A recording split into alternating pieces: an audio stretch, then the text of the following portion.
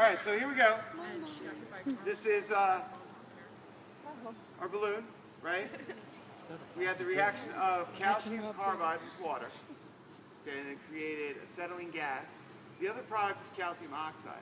That's the reason why you guys are back there. I'm really scared. I don't want calcium oxide getting on you.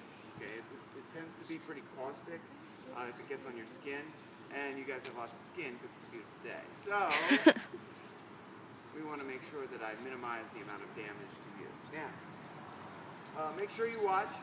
If this is truly acetylene gas that's produced, it will combust right when I when I uh, approach it with a flame. It's gonna explode. So It's gonna be a uh, we'll see if it actually did do that, or if it's some sort of other less exciting way. Ooh, he's lighting it on fire. Ooh, I don't know.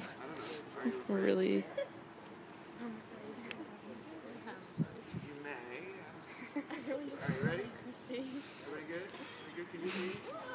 Everybody's backing up.